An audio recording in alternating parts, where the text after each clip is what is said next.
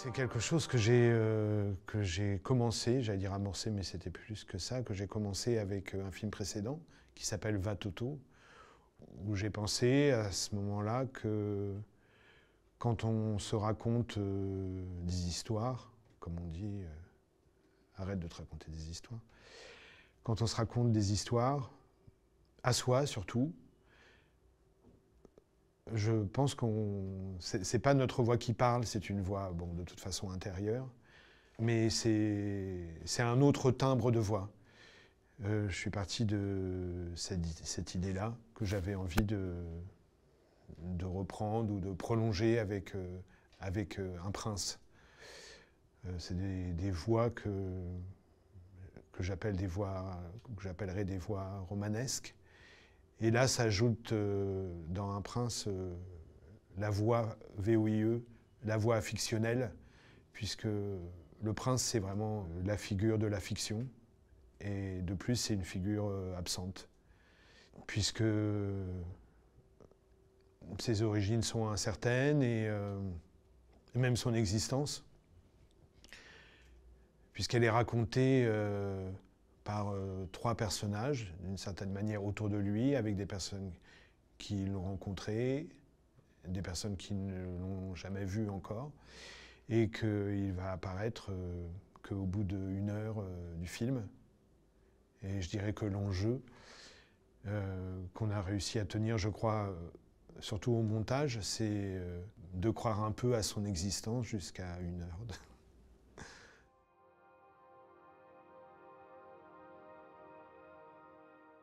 pour euh, écrire Un prince. Euh, donc j'ai fait appel à trois de mes amis les plus proches avec euh, qui j'avais déjà travaillé, et notamment sur Vatoto, sur ce principe de, la polyphonie et des plusieurs voix intérieures. Et l'écriture a, a, duré pendant deux ans.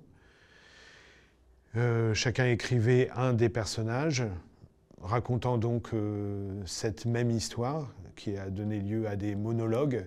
Et moi, c'est à partir de ces monologues que j'ai commencé à construire euh, ou écrire euh, un, scénario.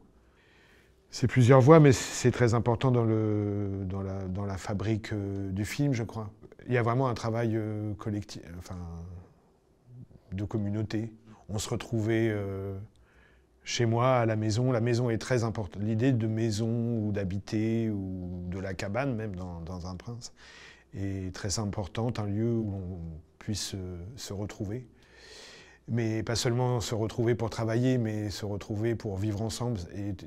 Chaque étape, c'est comme ça aussi bien à l'écriture, au montage. Euh, Félix Rem a habité la maison pendant toute la période du montage. Et le tournage, c'était pareil, la, vie était très très liée euh, au tournage. C'est pas du tout euh, des choses séparées.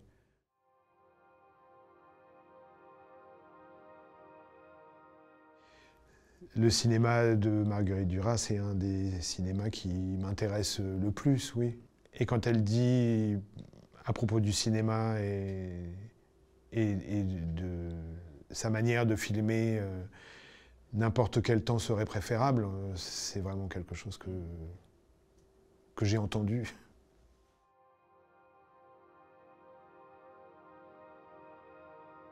Ça, ça s'est vraiment construit euh, au montage, puisqu'on avait, on avait la musique.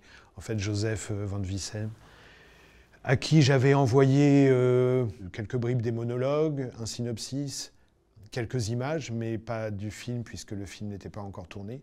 Et il m'envoyait la musique avant euh, que l'on commence le tournage.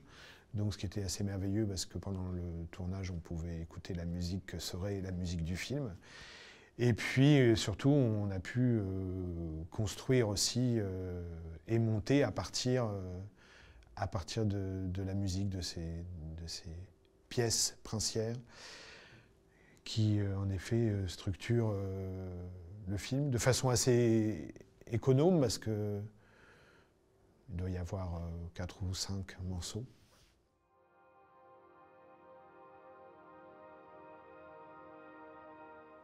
ce qui était très beau, c'est que ça nous a rendu vraiment tous, ça nous a rendu tous joyeux. C'est vraiment une joie partagée euh, parce qu'on a fait le film sans argent. On a vraiment été vraiment très pauvres pour euh, faire ça, mais que on avait tous vraiment à cœur de le faire. Chacun s'est tellement euh, impliqué pour que ça existe et c'est vrai que quand vous nous avez euh, accueillis, ça a été quand même